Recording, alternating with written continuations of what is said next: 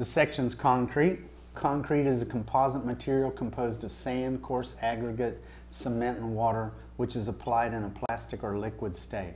Under normal temperatures, the initial set will occur in hours.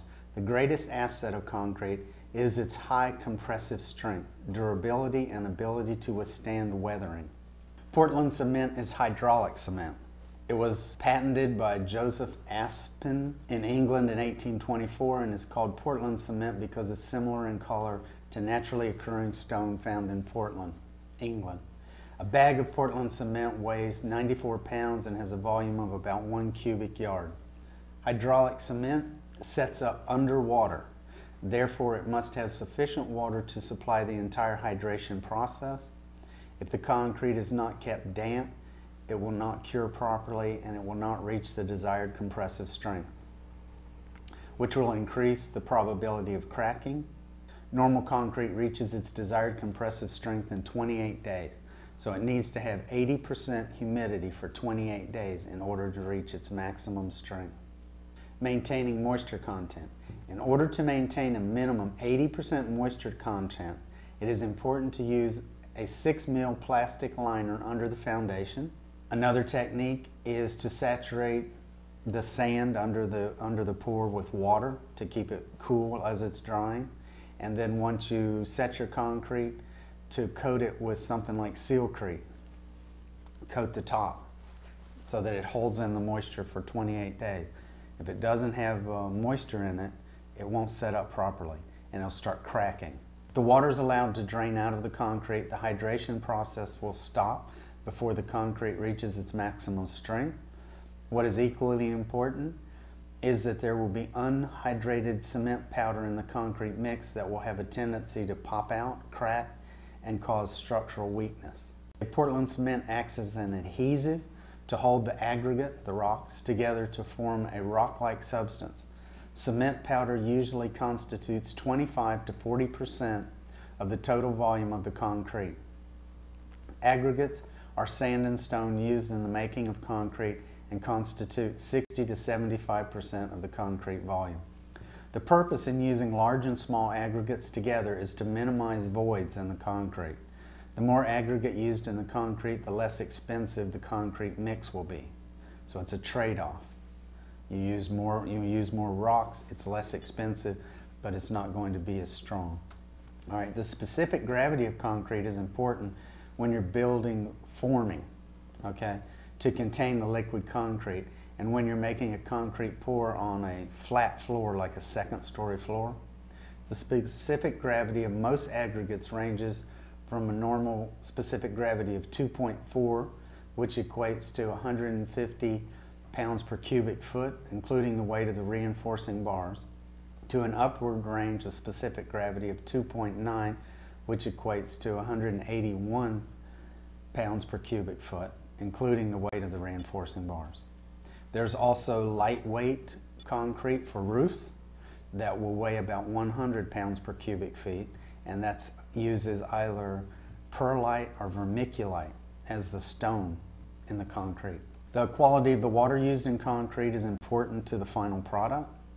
Silt or clay in the water will have the effect of forming a fine layer between the aggregate and reinforcing bars and the hydraulic cement. Okay? Excessive amounts of oil in the water can decrease concrete strength by up to 20%. Air entrained concrete is used to increase the working life of concrete that is subject to freezing and thawing. Air entraining improves the workability of the concrete and uh, you usually steel trowel the surface so that, it, so that uh, air entrained concrete will resist abrasion better. To minimize cracking in concrete, the most effective method is to use control joints and properly positioned reinforcing steel bars. Control joints should not be confused with construction joints, which are used to contain separate pours, such as the last pour of the day from the first pour of the next morning. Five common types of Portland cement. You've got type 1 Portland cement is general purpose cement. Type 2 Portland cement is used where salt sulfates are likely to attack the concrete. Type 3 Portland cement is generally called high early concrete. Type 4 Portland cement generates minimal heat, and Type 5 Portland cement is only used for concrete exposed to high levels of sulfates. There are other types of Portland cement, such as white Portland cement. It's commonly made from Type 1 or Type 3 Portland cement. White Portland cement is primarily a cosmetic product and conforms to the same specifications as the gray Portland cement. Waterproof Portland cement is made by adding stearates to the Portland cement during final grinding. The number one factor in quality of the cement is the cement paste itself, how it's made and what goes into it. Calculating slump. Slump refers to the consistency, workability, and plasticity of concrete. Workability is a measure of how difficult it is to place and finish concrete. Slump is a measure of consistency and workability. Generally, the higher the slump, the wetter the concrete. Slump is generally specified in a range from 2 inches to 4 inches. Batching is the accurate process of weighing or controlling the volume of measuring ingredients as they are put into the mixer when you're making concrete. High tensile strength.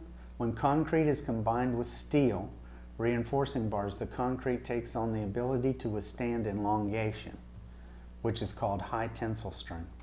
The typical minimum delivery quantity is 5 cubic yards, and this is commonly referred to as a short load. Consistency is loosely defined as the wetness of the concrete mixture. It is measured in terms of slump. The higher the slump, the wetter the mixture, and it affects the ease with which the concrete will flow during placement. It is related to, but not synonymous with, workability. Maximum time in rotation. The specification also requires that the concrete must be delivered and discharged from the truck mixer agitator within one and a half hours after introduction of the water to the cement and aggregate, okay? Or 300 turns, one or the other, either an hour and a half or 300 turns in the tank.